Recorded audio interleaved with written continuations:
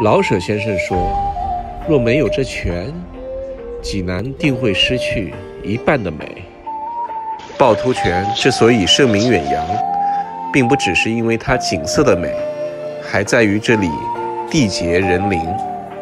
一代词人李清照，他的芳名流传千古。虽然不是赏泉的好季节，但温暖的春日和煦的春风，还是让人心旷神怡。来到趵突泉边，清澈的泉水带着丝丝寒意扑面而来。坐在泉池边，听泉水冒出的轰隆声，像是在诉说着它的故事。